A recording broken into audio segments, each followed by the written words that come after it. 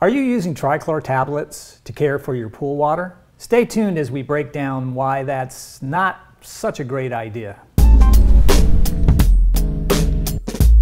The usage of trichlor tablets to introduce chlorine into your pool also introduces additional cyanuric acid. That acid doesn't break down over time and will affect your ORP, or oxidation reduction potential. ORP is basically the measurement of how effective your chlorine is at breaking down contaminants. The buildup of cyanuric acid retards the effectiveness of your chlorine, and it becomes slower to break down contaminants. Stop overdosing your pool with cyanuric acid, which is what you do by keeping it on a steady diet of trichlor tabs. So, how do we stop cyanuric acid buildup? Simple. Stop using these trichlor tablets as a primary way to chlorinate a pool. Get back to cleaning your water with unstabilized chlorine. For more than 50 years, liquid chlorine has proven to be an effective way to deliver chlorine without any other harmful additives. With 30 to 50 parts per million of cyanuric acid, your chlorine can be incredibly efficient in keeping your water clean. But getting that proper dosage